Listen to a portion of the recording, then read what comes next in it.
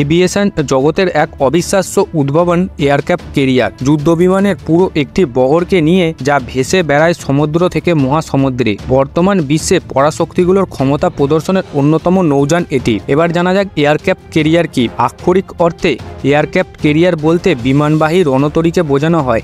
এটি এমন একটি যুদ্ধজাহাজ যা সমুদ্রে চলমান বিমানঘাঁটি হিসাবে কাজ করতে সক্ষম। প্রতিটি এয়ারক্রাফট কেরিয়ারে পূর্ণ দৈর্ঘ্যের ফ্লাইট ডেক থাকে। আরও থাকে বিমান রক্ষণাবেক্ষণ ও মেরামতের জায়গা, অস্ত্র গুদাম, শক্তি উৎপাদনের জন্য একাধিক নিউক্লিয়ার রিয়াক্টর, আধুনিক যুদ্ধাস্ত্র ও নেভিগেশন সরঞ্জাম দি। এখানেই শেষ নয়, কয়েকশো মানুষের থাকা, খাওয়া, শরীরচর্চা থেকে শুরু করে সব কিছুর ব্যবস্থা থাকে এয়ারক্রাফট কেরিয়ারে। আধুনিক যুদ্ধবহরের এক অভিনব সংস্করণ এই রণতরী। এটি পুরো বিমান ঘাঁটিকে নিয়ে শত্রুর ভূখণ্ডের কাছাকাছি পৌঁছে যায়। এক একটি এয়ারক্রাফট কেরিয়ারে যতগুলো বিমান থাকে, বিশ্বের বেশিরভাগ দেশের নৌবাহিনীর কাছে সব মিলিয়ে অতগুলো বিমান নেই। এয়ারক্রাফট কেরিয়ারের সংখ্যা বর্তমান বিশ্বে সক্রিয় বিমানবাহী রণতরীর সংখ্যা কুড়িটি। এর মধ্যে যুক্তরাষ্ট্রে রয়েছে এগারোটি, ব্রিটেন, ইতালি ও চীনে রয়েছে দুইটি করে। এছাড়া রাশিয়া, ফ্রান্স, ভারত, স্পেন ও থাইল্যান্ডের একটি করে এয়ারক্রাফট কেরিয়ার রয়েছে।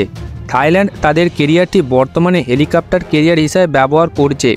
ইতালি তাদের দুইটির একটিকে মোতায়েন করেছে অ্যান্টি সাবমেরিন ওয়েলফেয়ারের জন্য।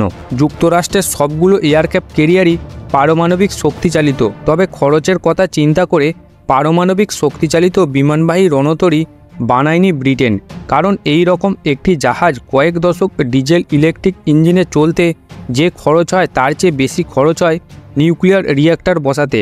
পারমাণবিক শক্তিচালিত এয়ারক্রাফট কেরিয়ারের মূল বৈশিষ্ট্য হলো এতে রিফুয়েলিং বা কোনো জ্বালানির প্রয়োজন হয় না।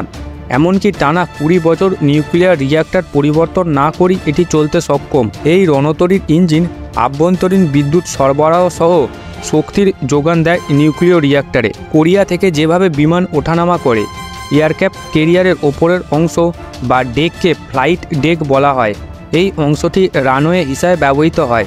এখান থেকেই বিমান উন্নয়ন ও অবতরণ করে। রানওয়ের পাশে যে কাঠামো থাকে তাকে আইল্যান্ড বলে। এখানে থাকে ব্রিজ নামের একটি অংশ, যেখান থেকে কেরিয়ারের গতিপথ নিয়ন্ত্রণ করা হয়। এছাড়াও থাকে ফ্লাইট কন্ট্রোল সিস্টেম, সেখান থেকে বিমান উন্নয়ন ও অবতরণের নির্দেশনা দেওয়া হয়। সাধারণত বিমানের রানওয়ে আট হাজার ফিট থেকে তেরো হাজার ফিট হয়ে থাকে, কিন্তু এয়ারক্রাফট কেরিয়ারের দৈর্ঘ্য হয় তিনশো ফিটের কাছাকাছি। তাহলে এত কম দৈর্ঘ্যে রানওয়ে থেকে কীভাবে বিমান ওড়ে? কীভাবে বা বিমান অবতরণ করে? বিমানবাহী রণতরীতে থাকা স্বল্প রানওয়ের মাধ্যমে ফাইটার জেটের উন্নয়ন সম্ভব নয়। তাই বিমান উন্নয়নের জন্য ব্যবহার করা হয় একটি সহায়ক যন্ত্র, একে ক্যাটাপালস বলা হয়। এই যন্ত্রের খাদে বিমানের চাকা রাখা হয়। এই যন্ত্র বিমানটিকে রানওয়ের শেষ মাথা পর্যন্ত প্রচণ্ড গতিতে টেনে নিয়ে যায় এবং শেষ মুহূর্তে ছেড়ে দেয়। এরপর বিপরীতমুখী প্রচণ্ড শক্তি নিয়ে বিমান উড়তে শুরু করে। ব্যাপারটি ধনুক দিয়ে তীর মারার সঙ্গে কল্পনা করা যায়। মার্কিন রণতরীগুলোতে চারটি করে ক্যাটাপালস থাকে, যার মাধ্যমে প্রতি কুড়ি সেকেন্ডে একটি করে বিমান উন্নয়ন সম্ভব। অন্যদিকে বিমান অবতরণের সময় এক ধরনের হুক ব্যবহার করা হয়।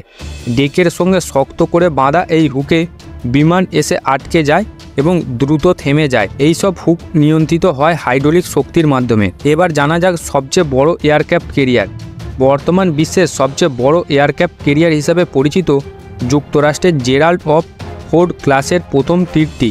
দু হাজার সতেরো সালে এটি জলে আসে। লম্বায় হাজার বিরানব্বই ফিট এই রণতরীটি ফ্লাইট ডেকের প্রস্থ দুশো বাহান্ন ফিট।